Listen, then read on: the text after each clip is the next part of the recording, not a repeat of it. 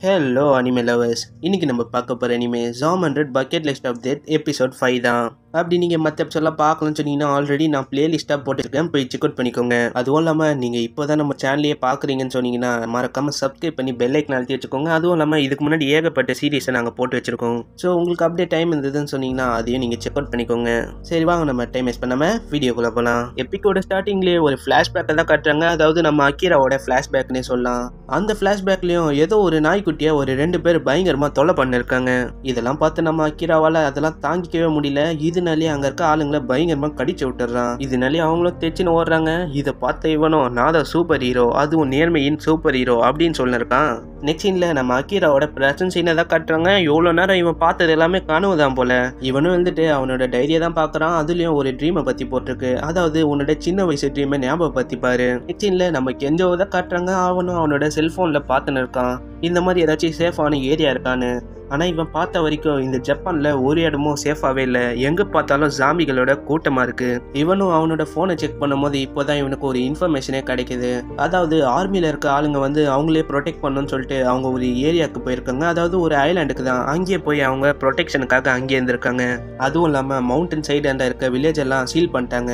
அப்போனா என்னோட ஃபேமிலி கூட நல்லா இருக்கும்ல. ஏன்னா என்னோட ஃபேமிலியும் ஒரு மவுண்டனுக்கு பக்கத்தில் தான் இருக்குது அதாவது அதுவும் ஒரு வில்லேஜ் தான். நெக்ஸ்ட் சீனில் அங்கே இருக்க டேங்க்ல இருக்க தண்ணியை வச்சு இவங்க ரெண்டு பேருமே குளிச்சுன்னு இருக்காங்க இப்போதான் நம்மளுக்கு ஒரு விஷயமே புரியுது. நம்ம கெஞ்சோ வந்து அவனோட முடிய கலர் பண்ணிட்டு இருக்கான் இதை பார்த்து நம்ம அக்கீராவும் கேட்குறான் ஏய் என்னடா ஆச்சு? எதுக்கு கலர் வச்சிருக்க ஏய் இந்த ஐடியா உன்னை பார்த்து தான் எனக்கு வந்தது தெரியுமா?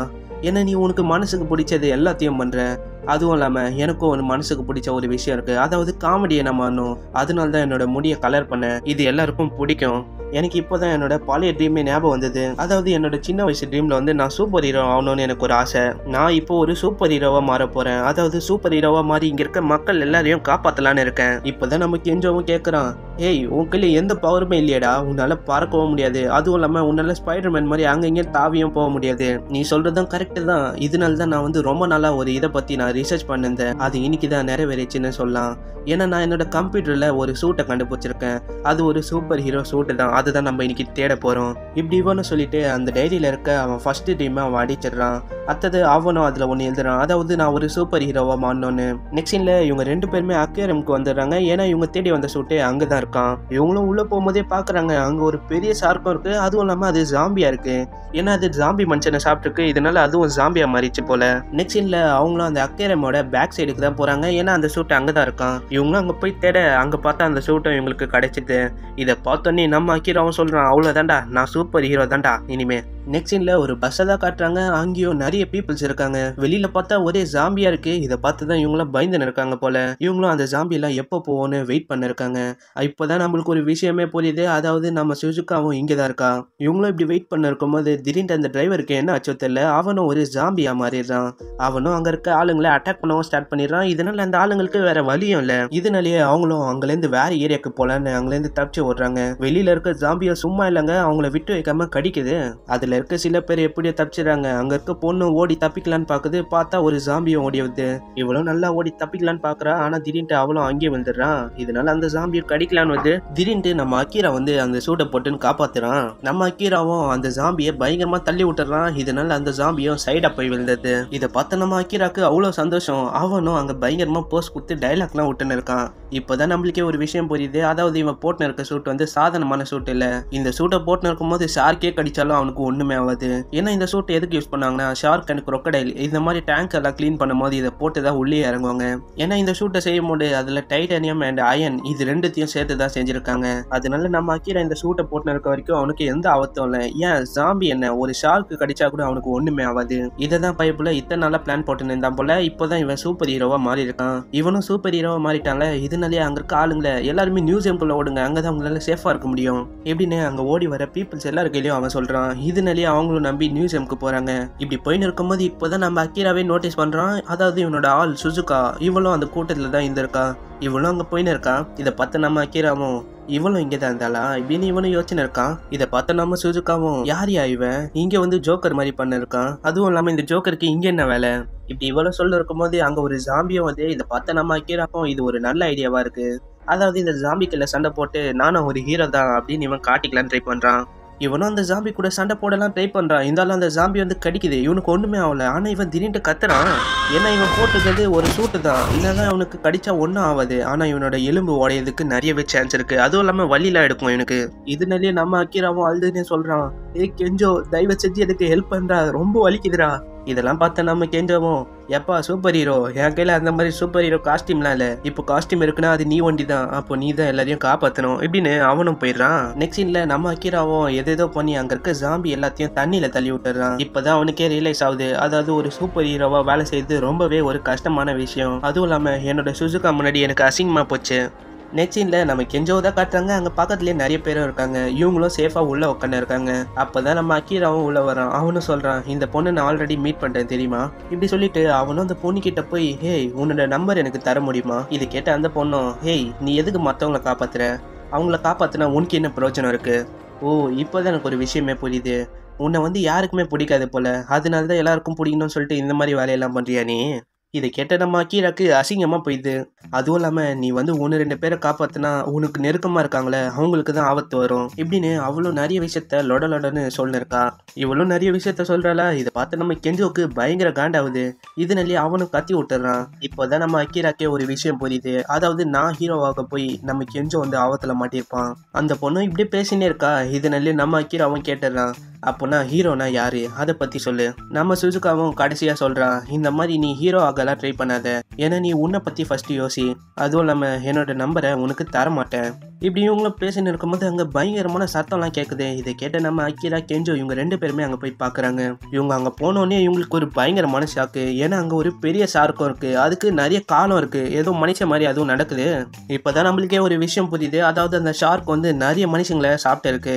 அதுவும் இல்லாமல் அந்த மனுஷங்களாம் சாதாரணமான மனுஷங்க இல்லை. அதுவும் ஜாம்பிங்க இதனால தான் அதுங்க காலை கிழிச்சிருக்கு. இந்த ஷார்க்குக்கு ஹெல்ப் பண்ணுற மாதிரி காலை அதுவும் தொத்த ஆரம்பிக்குது இவங்கள. இதை பார்த்து இவங்க ரெண்டு பேருக்கும் வேற வழி இல்லை. இதனால இவங்களும் தேச்சேன்னு ஓடுறாங்க. இவங்களும் ஓடிங்கன்னே யோசிக்கிறாங்க. இந்த மாதிரி இந்த ஷார்க் எப்படி ஜாம்பியா மாறிச்சு? இப்படி இவங்களும் யோசிச்சுன்னே அப்படியே செகண்ட் ஃப்ளோருக்கு வராங்க. அங்க பார்த்தா நிறைய ஜாம்பி இருக்கு. அந்த ஷார்க்கும் பின்னாடியே இருக்கா? இதனால அந்த ஜாம்பி எல்லாத்தையும் அது சாப்பிட்டது. இதை பார்த்து இவங்களுக்கு வேற வழியே இல்லை. இதனாலேயே இவங்க எல்லாருமே எமர்ஜென்சி எக்ஸிட் ஆண்ட போகலான்னு ட்ரை பண்ணுறாங்க அங்க இருக்க எல்லாருமே அதை நோக்கி தான் ஓடுறாங்க. அங்க இருக்க ஒரு பொண்ணும் நம்ம சுசுக்காவை தள்ளி விட்டுது. எல்லாருமே உள்ள பூந்துடுறாங்க ஏன்? நம்ம ஹீரோ கூட உள்ள பூந்துடுறான் அவனும் அங்கே இங்கேன்னு பார்க்குறான் எங்கடா நம்ம ஆளுன்னு? பார்த்தா நம்ம சுசுகா வந்து வெளில இருக்கா? இது தெரிஞ்சோடனே நம்ம அக்கிராவும் அங்கேருந்து வேறு ரூட் வெளியா வெளில வரலான்னு பார்க்குறான் வெளியிலேயே நம்ம சுசுகாவும் யோசிக்கிறா. இதனால தான் எனக்கு குரூப்பாக இருக்கிறதே பிடிக்காது. அதுவும் பேசிக்காக சொன்னால் இந்த பீப்புள்ஸ் கூட தான். நம்ம சுசுகாவும் யோசிச்சு இருக்கும்போது பின்னாடியே அந்த பெரிய ஷார்க்கும் இவ்வளோ முழுங்கலான்னு வருது. இதை பார்த்தா நம்ம சுசுகாவும் அங்கே பயந்து நிற்கா பார்த்தா நம்ம அக்கிரா வந்து ஒரே பஞ்சா அந்த ஷார்க்கை அடிச்சுன்னு இருக்கான். இதை பார்த்து நம்ம சுசுகாக்கு அவ்வளோ ஆச்சரியம். ஏன்னா இவன் எதுக்கு அவனோட உயிரை பணையை வச்சு என்ன காப்பாற்ற வரான் இவளுக்கும் ஒன்றும் புரியலையா? இதனால அவளும் அப்படியே பார்த்துன்னு இருக்கா. இப்போதான் நம்ம அக்கீராவே சொல்லணும் நான் வந்து உன்னை காப்பாத்துறதுக்கு எந்த விதமான ரீசனும் இல்லை. ஏன்? நம்ம பசியத்தை நம்ம சாப்பாடு சாப்பிட்றோம்ல அதே மாதிரி தான் உன்னை எனக்கு காப்பாற்றணும்னு தோணுச்சு அதனால தான் வந்து காப்பாத்துறேன். அதுக்குன்னு மனசு சொல்லுதுன்னு நீ என்னை காப்பாற்ற வந்துட்ட அப்படி நீ செத்துட்டா எல்லாமே முடிஞ்சிரும் இதுக்கப்புறம் நம்ம சுசுகாவும் எழுந்துக்கிறா அவளும் கேட்குறா ஹே அக்கீரா உன் கையில் ஏதாச்சும் பிளான் இருக்கா? ஆனால் நம்ம அக்கீரா தான் எந்த விதமான பிளானும் போடலையே. அவனும் நம்ம சுசுகாவை காப்பாற்றணும்னு அங்கேருந்து குதிச்சு ஓடி வந்துட்டான்.